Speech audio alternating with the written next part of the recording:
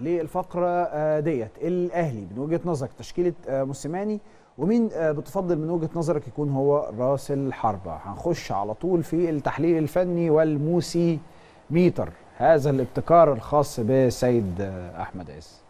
أنا أحمد عز. يعني أكيد مش هو أحمد معرفش عز. حضرتك بصيت له يعني. لا أصل هو كان الموسي. ميتر. أيوه.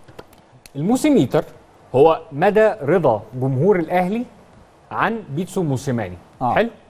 الراجل من بداية رحلته حتى نهائي دوري أبطال أفريقيا اخذ العلامة الكاملة في. مباريات الوداد مباريات الدوري اللي كان فيها مباراة بيراميدز كمان اللي كان الأهلي ناقص فيها لاعب وبرغم ذلك قدم اداء مميزا مم. حلو.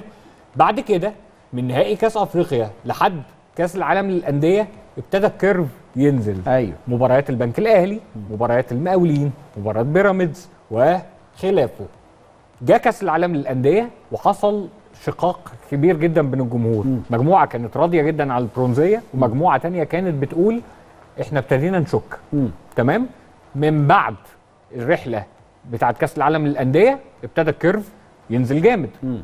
وصلنا لحد النهارده بيتسو موسيماني على الحافة. آه. وبالتالي مباراة غدا ما فيهاش تهريج لأن هي ممكن تخلي العداد بتاع بيتسو موسيماني يوصل لمرحلة خطر تماما. red zone.